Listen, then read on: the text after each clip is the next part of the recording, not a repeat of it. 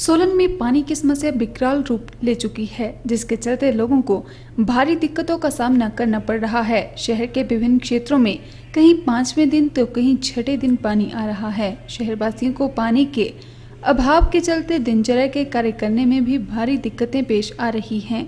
सूत्रों की माने तो अश्विनी खट की मोटरें खराब हो चुकी हैं, जिसके चलते पानी अपलिफ्ट नहीं हो रहा है।